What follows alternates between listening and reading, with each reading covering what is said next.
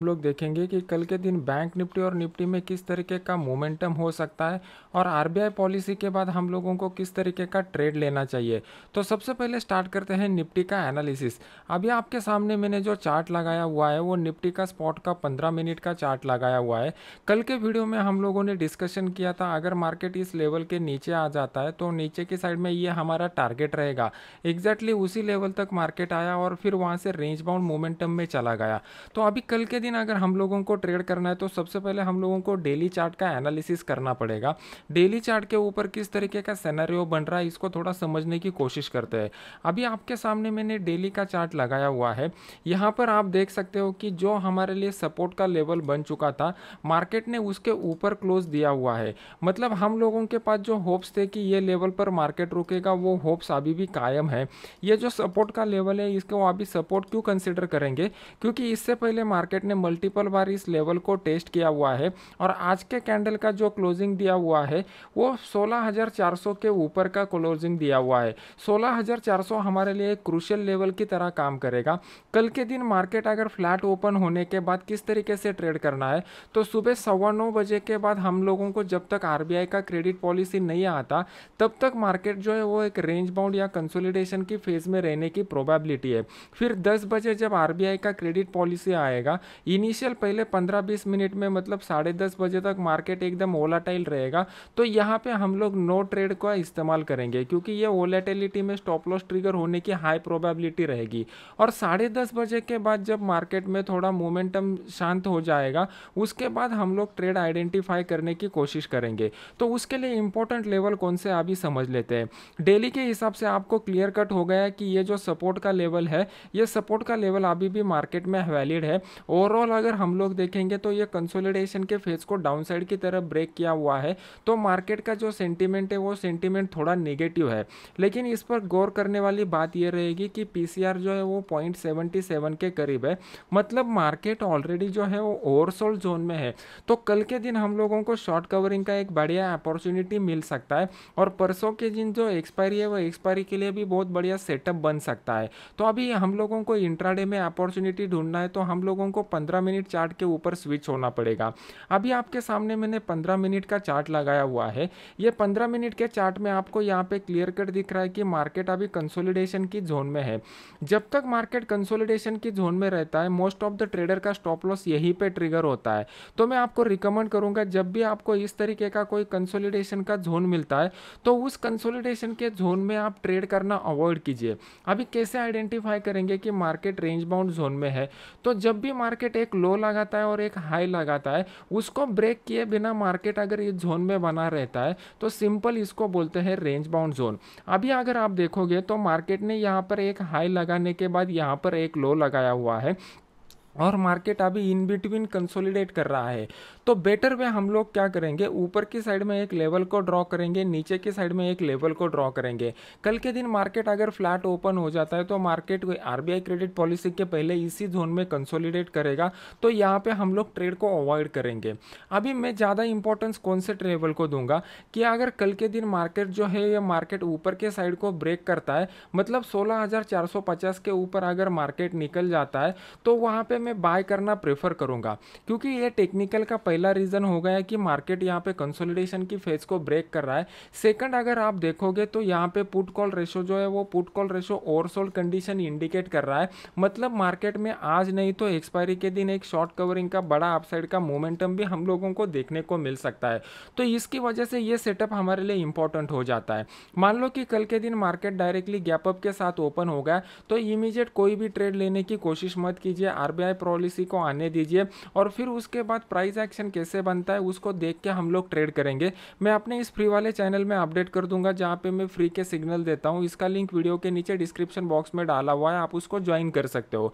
अगर मान लो कि कल के दिन मार्केट डायरेक्टली गैप डाउन हो सकता है तो मॉर्निंग सेशन में हम लोगों को एक ट्रेड मिल सकता है। मार्केट अगर सोलह के नीचे आ जाता है तो एक मॉर्निंग सेशन में 10-15 मिनट का एक डाउन साइड का मोमेंटम हमको 40 से 50 पॉइंट का मिल सकता है। 16,300 के ऊपर दोबारा अगर हम लोग देखेंगे कि पुट की साइड में अच्छा खासा ओपन इंटरेस्ट बन चुका है तो वहाँ पे मार्केट पॉज ले सकता है। तो यहाँ पे एक छोटा ट्रेड अगर आपको लेना है तो आप वहाँ पे भी ट्रेड कर सकते हो लेकिन मैं रिकमेंड करूँगा आपको कि कल आप जो है वो आरबीआई क्रेडिट पॉलिसी आने के बाद ही ट्रेड लीजिए जो आपके लिए बेटर रहेगा। अभी समझ लेते हैं कि बैंक निफ्टी में किस तरीके का मोमेंटम बन रहा है और बैंक निफ्टी में हमें कौन से लेवल के ऊपर ट्रेड करना है। अभी मैंने आपके सामने बैंक निफ्टी का डेली का स्पॉट का चार्ट लगाया हुआ है।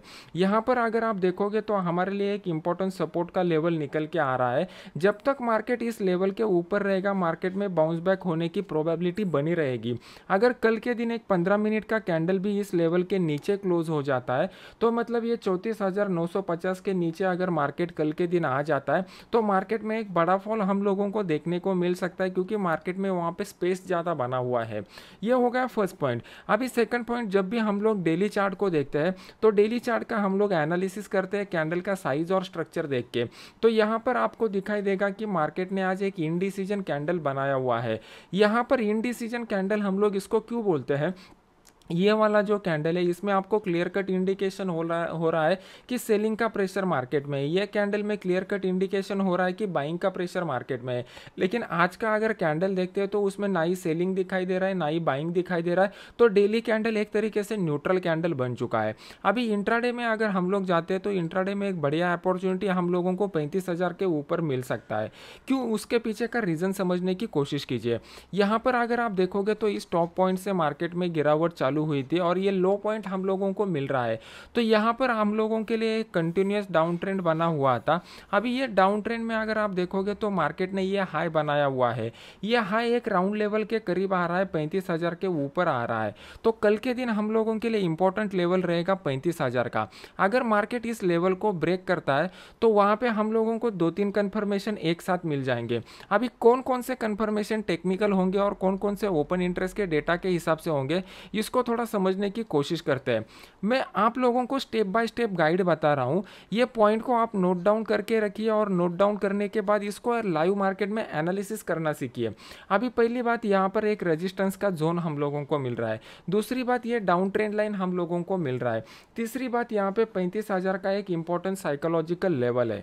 तो यहाँ पे अगर इस रेजिस्टेंस लेवल को मार्केट अपसाइड की तरफ़ ब्रेक करता है तो सेम टाइम यहाँ पे ये ट्रेंड डाउन ट्रेंड लाइन भी ब्रेक हो रहा है। इसका मतलब मार्केट का सेंटिमेंट चेंज हो जाएगा, ये हमारा फ़र्स्ट पॉइंट हो गया। ये ट्रेंड लाइन ब्रेक हो गया। सेकंड पॉइंट, जो भी लोगों ने यहाँ पे नीचे में सेल के पोजीशन बनाए रहेंगे, मोस्ट ऑफ़ द लोगों का स्टॉप लॉस जो रहेगा, ये रेजिस्टेंस लेवल के ऊपर रहेगा।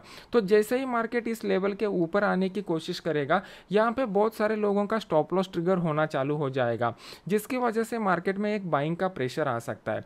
नेक्स्ट इंपॉर्टेंट पॉइंट, यहाँ पे पैंतीस हज़ार का जो लेवल है, मार्केट में अगर आप कॉल के साइड में देखोगे तो पैंतीस हज़ार में one of the highest open interest बन चुका है। मतलब राइटर लोगों ने यहाँ पे सेल का पोजिशन बनाया हुआ है। अगर इस लेवल के ऊपर मार्केट आ जाता है तो ये राइटर लोग यहाँ पर ट्रैप हो जाएँगे। इनके ट्रैपिंग के वजह से मार्केट में एक अपसाइड का मोमेंटम आ सकता है। जिस केस में हम लोग पैंतीस हज़ार सौ का जो कॉल है, वो पैंतीस हज़ार सौ के कॉल को हम लोग यहाँ पर बाय कर सकते हैं। अभी बाय करने के बाद हमारा स्टॉप लॉस साठ से सत्तर पॉइंट रहेगा इस हॉरिजॉन्टल लेवल के नीचे। और हमारा टारगेट जो रहेगा वो टारगेट कहाँ तक रहेगा? ये पैंतीस हज़ार के जैसे ही मार्केट पैंतीस हज़ार पचास के ऊपर मार्केट निकलेगा, हम लोग यहाँ पर बाई का पोजीशन इनिशिएट करेंगे और हमारा फ़र्स्ट टारगेट जो रहेगा, वो फ़र्स्ट टारगेट ये रेजिस्टेंस लेवल रहेगा पैंतीस हज़ार एक सौ साठ के करीब का। इसी लेवल से मार्केट में एक तेज़ गिरावट हम लोगों को देखने को मिली थी।